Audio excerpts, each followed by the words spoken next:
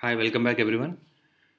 Uh, today I'm going to discuss on the CT features of uh, novel coronavirus, which is an emergent virus in the year 2020. Uh, so let us see the imaging features of novel coronavirus.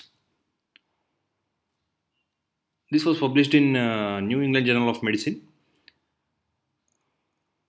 A young male who presented with mild fatigue and fever.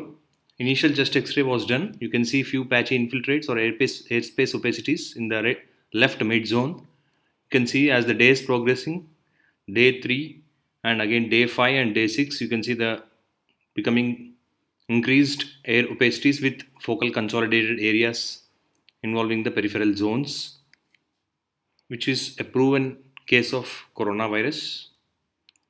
Another case published in RSNA, you can see the peripheral ground glassing involving the bilateral lung fields, the right and left, predominantly involving the peripheral zones without any sparing of the subpleural regions. And this is the another case, extensive bilateral ground glass opacities with few areas of bronchograms you can see the consolidation predominantly again involving bilaterally symmetrical peripheral and involving the subpleural regions too. Another case, proven case of coronavirus. You can see again the patchy areas of ground glasses, ground glassing, bilateral lung fields peripherally placed, and this is a 3D volume rendered image which was done later after a few days, which there were increased ground glass opacities in bilateral lung fields. And in this study, they found out the ground glass opacity was the common finding. As the disease progress, consolidation develops. Crazy paving was observed in few patients, and sometimes the linear opacities which inter- which indicate the interlobular septal thickening in case of viral pneumonia. This is another case which was published on February 7th. You can see a different pattern like well-defined round bilateral areas of consolidation with some areas of lucency which is going for the organizing pneumonia pattern.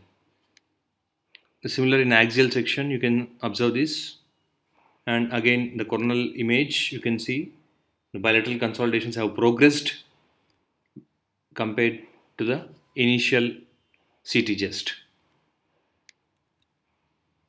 This is another study which was done, published in RSNA again on Feb 6th.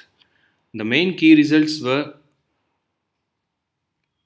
they showed pure ground glass opacities, which was a common finding in 77% of the patients, and with interstitial opacities or interstitial interlobular septal thickening in 75% of the patients, and with consolidation in 59% of the cases. And on CT chest, uh, these ground glass opacifications for bilateral involving the posterior or peripheral lung fields in 85% of the patients. This was the complete study with various CT imaging features.